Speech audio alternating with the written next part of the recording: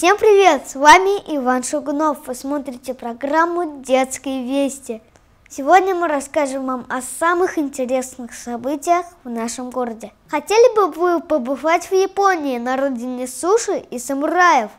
У вас есть такой шанс. Нет, нет, нет. Не нужно бежать за билетами на самолет.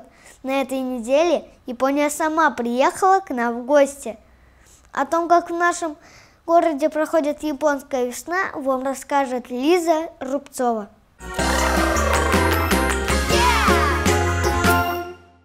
Удивительная страна Япония. Меньше всего она похожа на другие страны. Но при этом именно она дала миру так много ярких и интересных культурных явлений. Японская весна на Волге, проходящая на этой неделе в Ульяновске, подарила нам отличную возможность в этом убедиться.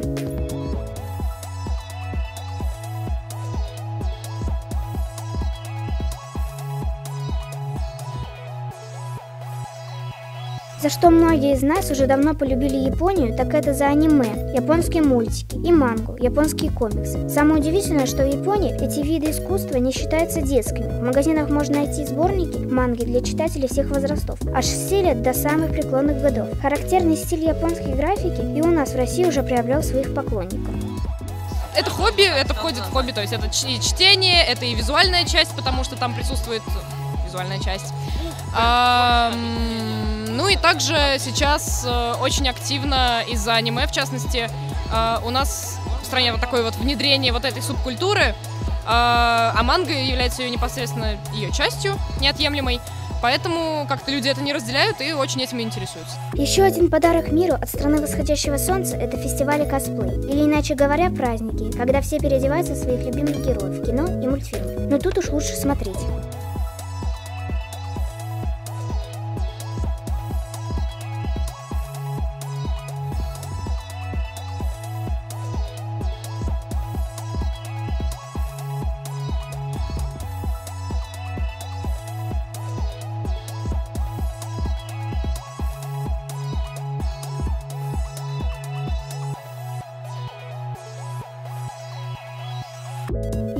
Спросите, что принесло Японии особую популярность среди других стран, так это ее многочисленные виды единоборств. Карате, айкидо, джиу-джитсу, дзюдо, кудо, сумо. Все эти боевые техники когда-то придумали японские воины, самураи или оборонявшиеся от них простые крестьяне. Судя по количеству видов единоборств, дружили они не очень. Зато теперь весь мир отдает должное изобретательности и тех, и других.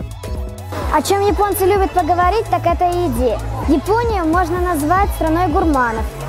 И если вы думаете, что главная японская еда – это суши и роллы, то вы сильно заблуждаетесь. В магазинах Японии можно встретить самый неожиданный продукт – шоколад со вкусом горчицы, чипсы со вкусом черники или газировку со вкусом томатного сока. Столовый этикет здесь также отличается от привычного нам. И дело не только в том, что вместо вилок и ложек японцы используют непривычные для нас палочки. Если у нас причмокивать и говорить с набитым тон – это дурной тон, то у японцев это совсем по-другому. Есть тихо, здесь просто невежливо. Это все равно, что поужинать и не сказать повару спасибо. Спасибо большое. Не за что. Спасибо. Наверняка многие из вас слышали слова икебана, оригами, киригами. Все это виды искусства, пришедшие к нам из Японии. Умение складывать и вырезать из бумаги объемные фигурки, составлять из цветов необычные композиции для украшения дома требует большого терпения и аккуратности. Такое под силу только очень собранным людям. Еще одно любимое увлечение творческих японцев – рисование цветущей сакуры. Когда в апреле зацветает сакура, японские школьники начинают учебу, а мы, а наш год уже почти закончился. Будем считать, что мы сделали такую эстафетную палочку для ребят из Японии. Мы учебный год уже закончили, а они только за парт садятся. Главное измерение любой культуры – это, конечно же, язык. Японский язык считается одним из самых сложных для изучения. Три вида письменности, две азбуки и непростая система иероглифов. Еще записывается все это не слева направо, а сверху вниз. В устной речи смысл японских слов зависит от громкости и интонации, с которой они были произнесены. Все осложняет еще и то, что у японцев не принято говорить прямо то, что они сами думают. Знаешь, японцы очень позитивные люди, они всегда улыбаются. Но что они на самом деле при этом думают, никто не знает, даже они сами. Всего пару часов на фестивале японской культуры, и уже кажется, что ты побывал в другом мире. Кто бы мог подумать, что такая небольшая страна может иметь такую богатую культуру, настолько отличающуюся от привычной нам. Так в чем же секрет страны восходящего солнца? Мне очень нравится э, несколько очень, на мой взгляд, главных качеств, которые отличают э, японцев от других э, народов. Это любовь к родине, это э, дисциплина, и это, э, если хотите, такая вот э, целеустремленность, заточенность на успех. Вот они такие. Вот они, э, если определили, что в этом направлении надо двигаться, и там они могут быть лучшими в мире, они двигаются. Что ж, у японцев есть чему поучиться, и у нас будет такая возможность. Японская весна на Волге положила начало доброй дружбе нашего региона с далекой Восточной империей. И для Японии эта дружба не менее важна, чем для нас. Российская культура самая богатая, разнообразные, красивые. И, и поэтому я всегда, когда смотрит картина, слушает музыка, читает э, литература, всегда как-то для меня, на меня производит очень большое впечатление. Вы страна очень богатая по культуре. Вам повезло. Елизавета Рубцова, Даниил Косяков. Специально для детских вестей.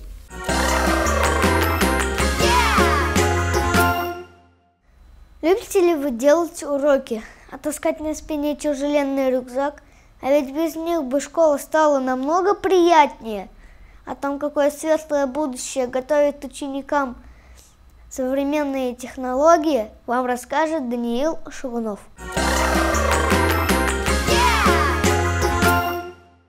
Как же мне уже надоели эти тяжеленные учебники, как кирпичи. Вот бы их уже совсем отменили. Думаете, такое невозможно? Готов вас порадовать. Школа без учебников и тетрадей – это не фантастика, а самая настоящая реальность. Уже со следующего года многие из нас начнут учиться по электронным приложениям. Да что там со следующего года? Уже сейчас есть те, кому домашние задания приходится делать на экране, а не в тетради. Впрочем, давайте обо всем по порядку. Хочу вас познакомить с Дмитрием Растворовым, директором по развитию Яндекс Учебника. Здравствуйте, Дмитрий. Добрый день.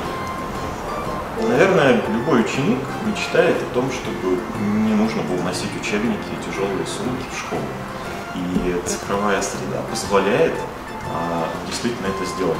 Нам не нужно уже использовать бумажные тетради, достаточно выполнить задание в электронном виде. При этом, помимо решения задач по математике, по русскому языку, можно узнать много всего нового, например, про города России. Можете показать, как это работает? Да, конечно. Предлагаю тебе сделать это прямо сейчас. Пару минут, и мы приступили к Яндекс учебе. Первым выбор пал на математику. Могу вам сказать, без тетради и писанины процесс шел куда быстрее, чем на уроке. На три задачи средней сложности мне потребовалось чуть больше пяти минут. В домашке по русскому очень порадовало то, что не нужно было переписывать из учебника длиннющие упражнения на повторение членов предложения. Все задания я выполнил при помощи мышки и клавиатуры. В целом на всю домашнюю работу у меня ушло не более 15 минут. За отличные успехи в Яндекс Учении мне даже специальный значок вручили. Ребят, ну это, конечно, очень круто. Яндекс Учебник очень удобен еще и тем, что в нем можно получить индивидуальные задания. Так отличникам не придется по сотому разу решать задачки, в которых они уже давно разобрались. Им достанется что-то поинтереснее. Ну а те, кому новая тема дается с трудом, будут иметь возможность потренироваться на заданиях попроще, прежде чем переходить к сложным упражнениям. В теории все понятно. Теперь давайте посмотрим, как это выглядит на практике. Мы решили отправиться в мой родной 11 лицей. Здесь по Яндекс учебникам уже обучается один из первых классов. Здравствуйте, можно войти? Можно заходить. И правда, урок идет, а учебников и тетрадей на партах почти нет. Зато у многих дипломы участников Яндекс Олимпиад. Пожалуй, стоит расспросить ребят подробнее. Вам нравится заниматься по Яндекс учебникам? Мне, конечно, очень нравится. Там очень интересные вопросы. Я отвечаю с удовольствием. Там много всяких интересных заданий. Когда я там занимаюсь, я закрепляю свои знания. Потому что там много занятий интересные. Если что-то неправильно сделали, там будет карточка. Вот, и я могу подумать и исправить. В школе контрольный сложнее, чем на Яндекс учебник. Что Яндекс учебник заменил обычные учебники, потому что там легче задания и очень веселые. Поскольку проект с электронным приложением от Яндекса в школах только начинает запускаться, совсем от обычных учебников класс пока не отказался. Электронные носители в основном используются в качестве главных помощников на уроках и дома. Как нововведение повлияло на учебу, поинтересуемся у главного эксперта, учителя класса. Детям очень нравится. То есть родителям не приходится уговаривать, да, пойди, и там у тебя задание по русскому, по математике. Они наоборот ждут, когда Любовь Ивановна выложит задание в Яндекс учебнике для того, чтобы их можно было выполнять. Чудеса! Домашка, которую хочется делать. И так со следующего года будет во многих школах нашего города. Со временем, наверное, и все ученики с 1 по 4 класс перейдут на электронное обучающее приложение. Будущее наступает, друзья! Очень скоро на наших партах не будет учебников, а домашние задания станут сплошным удовольствием. Данил, это что такое? А это, мама, Яндекс учебник.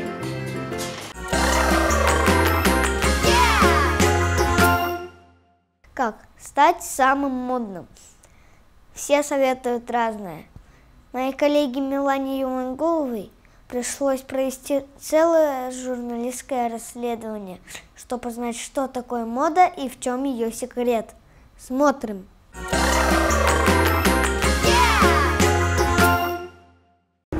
Милан, ну пойдем. Мамочка, это же так красиво, так модно. Ну как, как можно пройти мимо этой всей? Сумочки, туфельки, платьица, украшения. Все такое нарядное, яркое, стильное. Какая девочка не мечтает быть модницей? Вот только за этой модой не угонишься. Не успеешь выбрать себе наряд покруче, а на витрине уже новая коллекция. И кто только их придумывает. Кстати, интересный вопрос. А кто их придумал? Кто создает все эти модные коллекции? Кто решает, что модно, а что уже нет? Лучше всего разбираться, что такое мода на модном показе. Именно здесь собираются те, кто ее делает. И дизайнеры, и модельеры, и фотографы. Именно туда мы сейчас и отправимся. Международная неделя моды в Ульяновске проходит уже второй раз. Международная – это значит, что здесь собраны модные новинки со всего света. Многие из них публика увидит впервые именно здесь, на главном подиуме. Ну что же из этого самое модное? Пожалуй, нам стоит заглянуть за кулисы главного подиума.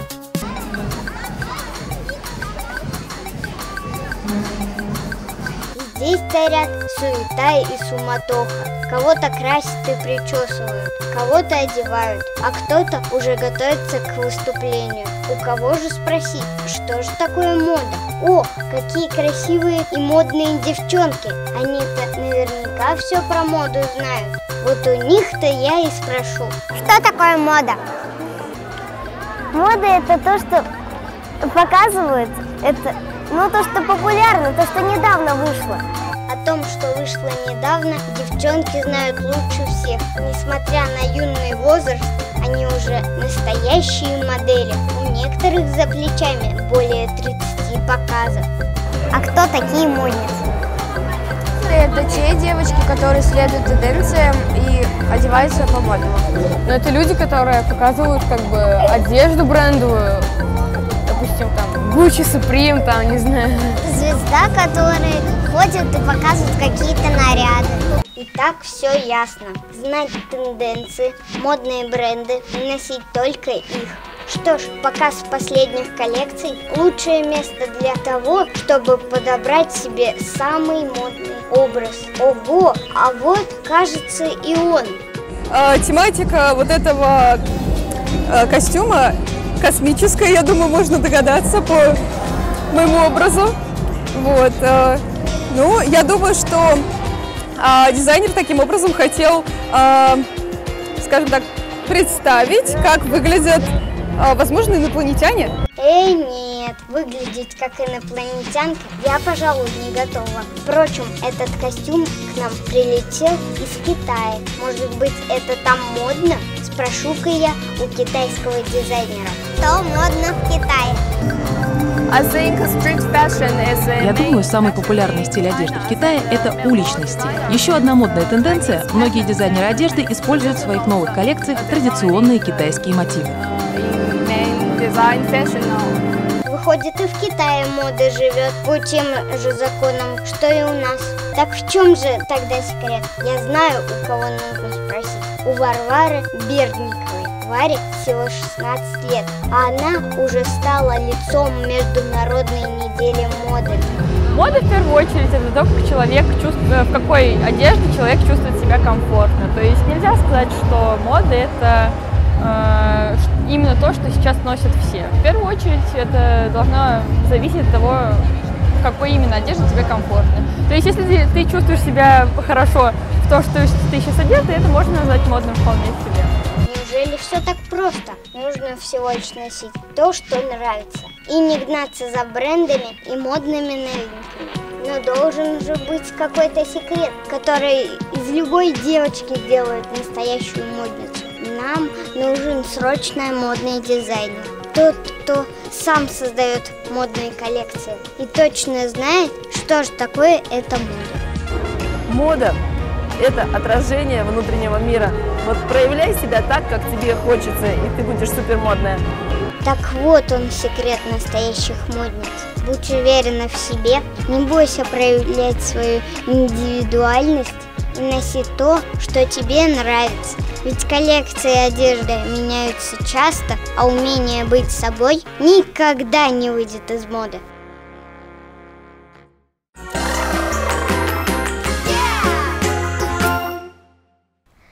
Сегодня это все новости. Э, Впереди вас ждет афиша и инструктаж по погоде. А я с вами прощаюсь. Хорошего вам дня. Праздники бывают разные. Новый год, день рождения, 9 мая. В воскресенье будет праздник. Этот праздник совсем не будет похож на, на другие праздники. Все будет происходить в Парке Победы. Э, На празднике будут концерты, э, девочки и мальчики будут танцевать, петь, рассказывать, может быть, стихи. Там будет бесплатный аквагрим, там будет беспроигрышная лотерея. И самая главная суть праздника. Он будет посвящен э, всем бездомным собакам, кошкам, животным. В воскресенье в Парке Победы будет благотворительный клуб «Кошкин дом». Такие организации, как Кошкин дом, я считаю, что они очень нужны, потому что кошкам и собакам бездомным нужно помогать. Они добрые, и они тоже чувствуют, у них тоже есть свое сердце. Ты делаешь лучше для них, они тоже получают положительные эмоции. Если, ко- если кошки и собаки будут жить на, жить на улице, им, и о них никто не будет заботиться, то они могут умереть. Обязательно сходите на этот праздник. Вы же неравнодушные люди. Вас там очень ждут. Там будут разные собаки, кошки, бихипусечные. Э, Там можно будет забирать животных домой, кормить их как Если я буду что-то покупать, эти деньги пойдут на помогание кошкам и собакам. И эти деньги, которые с лотереи, они будут отправляться кошечкам и собачкам бездомным на корм, прививки. Я, может, тоже хочу себе купить кошечку, если мама разрешит. Не стоит брать животных без э, ведома своих родителей. Я приглашаю вас на праздник. Приходите. Вас там ждут. Даже если вы не пойдете на этот праздник, все равно помогайте бездомным животным. Спасибо за внимание.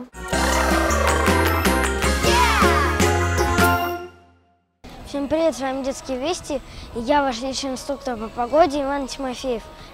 Погода заметно испортилась, на выходных будет не выше 15 градусов. стоит накинуть куртку и вместо шортов надеть что-нибудь потеплее.